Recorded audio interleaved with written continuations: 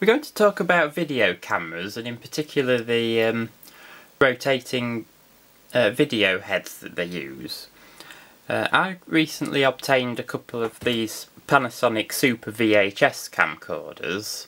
Uh, this one that you can see on the screen now is a Panasonic uh, NVS70 uh, and I've also got um, an NVS85B which is uh, currently in a somewhat disassembled state. These are reasonable quality machines from the mid 1990s and being Super VHS they have a far greater resolution than a, a typical VHS-C camcorder would. The only trouble is, both this one that's out that's just come today, which I got for a couple of pounds on eBay, uh, and the other one which uh, I got the other week, uh, the um, video cassette mechanism doesn't work properly. Uh, the rest of the camera works fine uh, on both of them. Uh, the um, CCD camera works fine, the focusing, the microphones, the video equipment, the, the uh, cathode ray tube viewfinder. They both have cathode ray tube viewfinders. They're these little half inch, half inch things. Uh, they both work perfectly, and uh, I've never had one of these CRT viewfinders before, and I've always wanted one. So uh, these will be worth having just for those, I'd imagine. But uh, it'd be nice to use them as camcorders. Um, except that the uh, video cassette mechanism doesn't work. Now I say it doesn't work, um, it actually does work, it just doesn't work properly. Uh, I've got some video clips that I'll show you shortly. Uh, it loads the tape fine. Basically the head drum makes a real racket and doesn't run smoothly. Apart from that it does work. But it's no good if the uh, if it can't play the video steadily and if, if it makes an awful lot of noise.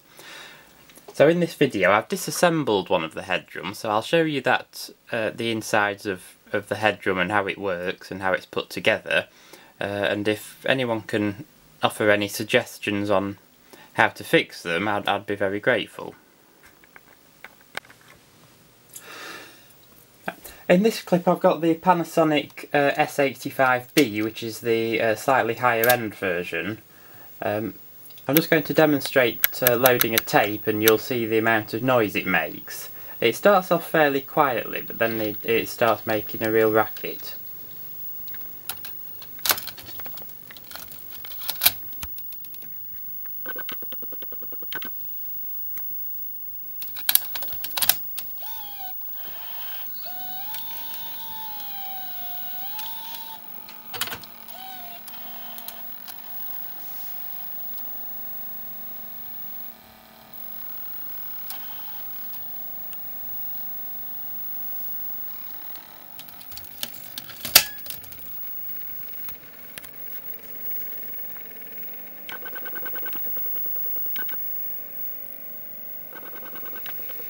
And here is when the noise is starting.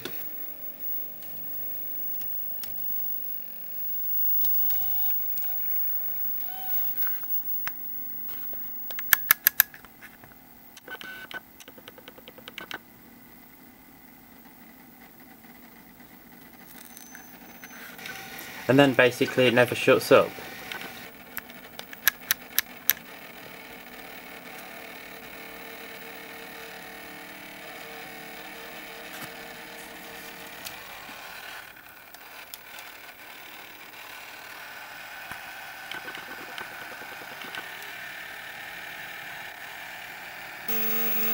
But here it is after it's been running a little while and now we'll eject the tape so that you can hear the difference.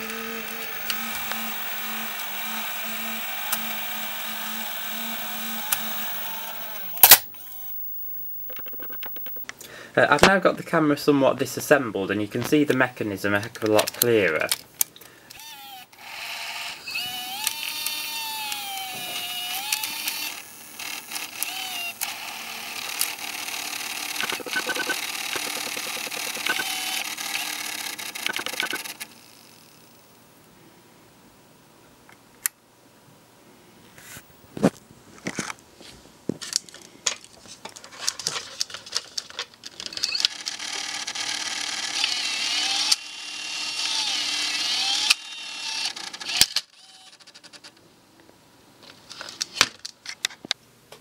I'm now going to show the teardown of the head drum. Uh, I don't think these are intended to be dismantled or repaired, but uh, I think they're intended to be replaced if, if they fail, and it's the whole thing that has to be replaced. Uh, according to the Panasonic service manual, uh, you can't just replace part of it, you're supposed to replace the whole thing. Now in this photograph I've laid out the various components of it, and on, on the bottom, uh, basically heads uh, work as transformers. Uh, you have the uh, heads which are spinning on a, a spinning round piece, uh, and then the signal is uh, transferred to the uh, fixed connector by means of a transformer which is spinning round. now you can see on the left hand side of the screen is the um, the base of the head uh, and part of, of the uh, transformer and that uh, that is the bit that connects into the uh, into the video camera. And and here we can see a much greater closer up of, of that. Uh, the next part is the uh, motor and this appears to be a DC brushless motor. Now such motors have uh, an, an, array of coils and uh, a spinning magnet sitting above them. Now in this case it doesn't have a it doesn't have a traditional uh, arrangement of copper wire co coils. The, co the, coils are actually uh, printed on the on a piece of uh, PCB, uh, which I've not seen before. So I'm, I'm, assuming it's probably common in in this kind of equipment. Uh, so we can just have a in here you can see a close up of that. Uh, if we zoom in you can see the um, individual coils on, on the uh, PCB and the magnet is the piece that's uh, sitting on the left hand side in this photo and that uh, actually screws onto the remainder of the head and, and makes the whole thing spin. Now the third item that you can see on, on the screen and this this is the uh, awkward bit for me uh, that's part of that's the uh, second part of the transformer mechanism. Uh, here's a close-up of the of the actual heads on the uh, head drum. Uh, you can see the metal pads uh, on the bottom of each of the heads, and they make contact with the little spring terminals on this transformer mechanism, and then that connects the individual heads up to up to all those transformer coils, and that's then that then sits on top of the uh, fixed coils that we saw earlier and uh, it spins round.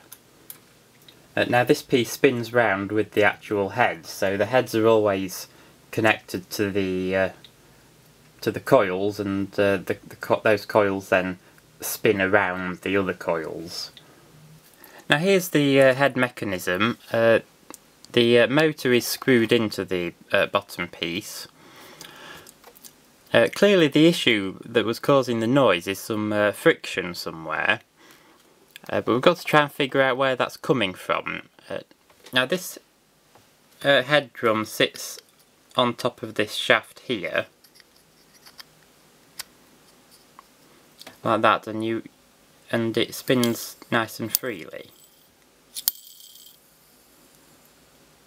You can see there it spins nice and freely. There's uh, very very little friction at all. That's that's pretty much what you'd expect. So there's nothing wrong with this bearing here.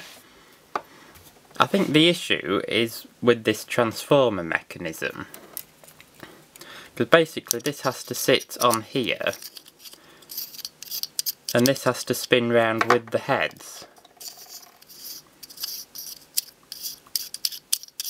And you can see in here that if we just spin that round freely like that,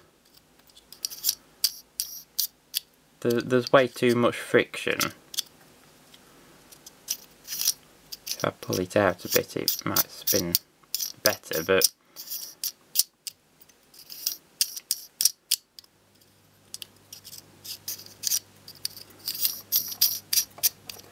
that basically just doesn't spin freely and I think that's where the problem is and I really don't have a clue what we can do about it.